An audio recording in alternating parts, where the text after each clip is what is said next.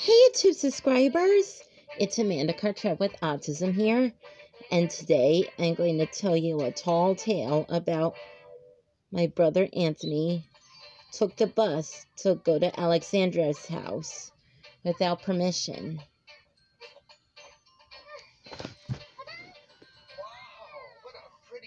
My it had it all started on December 14 on December 2014 before 2015 started about 8 years ago.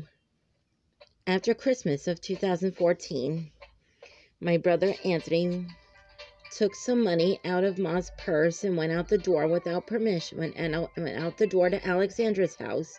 And Anthony got on the bus and and he drove away and he went and went away to Alexandra's house.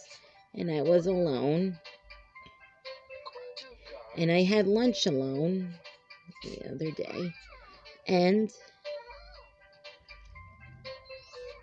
and I was home alone all day long while Anthony was gone to Alexandra's house. I thought my brother I thought my brother should be home by by then by by very soon, but he didn't come home. So so I didn't call the police. And and I wanted to call the police though. I would have called 911 to get the police. But but I heard it but but Anthony's godmother, Kath, came to Alexandra's house and hit him so bad.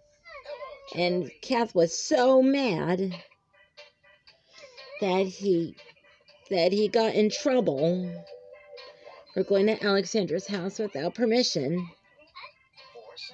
And then and then my mother and my and Anthony's godmother Kath came to to, to take to take